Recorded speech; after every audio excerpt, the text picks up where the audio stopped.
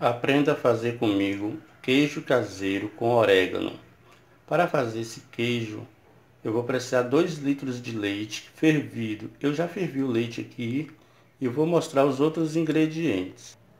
Uma colher de sal, orégano e 5 colheres de vinagre, vinagre de álcool. O leite para fazer o queijo não pode ser pasteurizado, tem que ser leite de vaca in natura. Agora eu vou acrescentar as 5 colheres de vinagre de álcool. Aí você tem que mexer. Eu já coloquei o vinagre e ele já está talhando, né? O leite já está talhando. Tem que dar uma mexidinha para eles formar aqueles carocinhos, né? Que é o queijo, né? Posteriormente vai ser o queijo.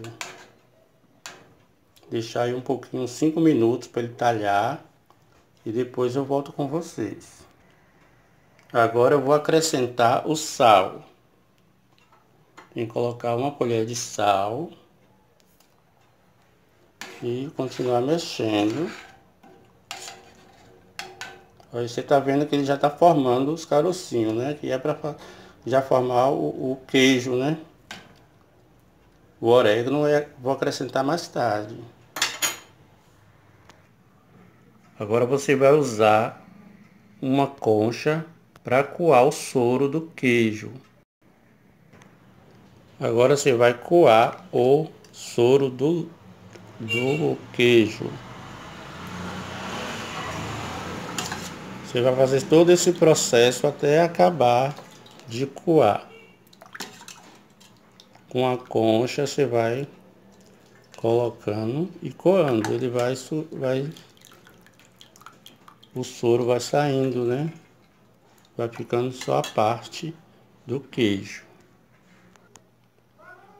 Agora você vai amassando com a colher, que é para o pano sugar o soro do queijo. Você amassa direitinho, que é para sugar todo o soro.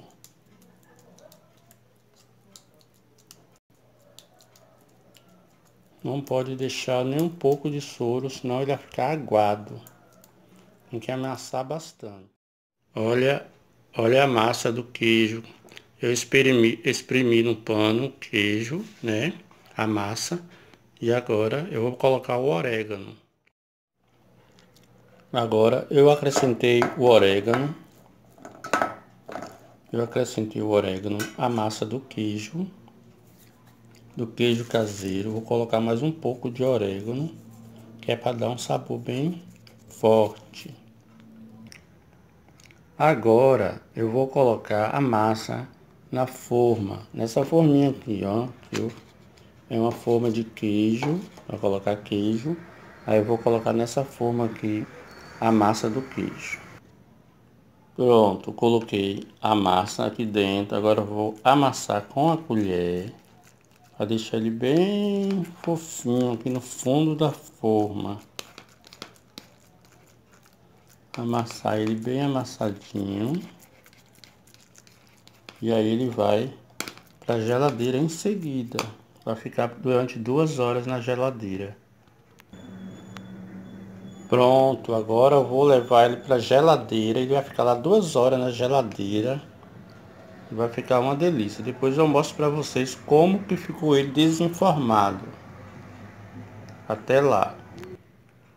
Bom, já passou as duas horas e aqui está meu queijo caseiro com orégano. Gente, não se esqueça de se inscrever no meu canal, compartilhar, ative o sininho para receber novas notificações. Curta esse vídeo, compartilhe Viu, gente? Aqui é o meu queijo que eu fiz, o queijo caseiro com orégano. Muito gostoso. Faça na sua casa e vocês verão que delícia. Muito obrigado e até o próximo vídeo.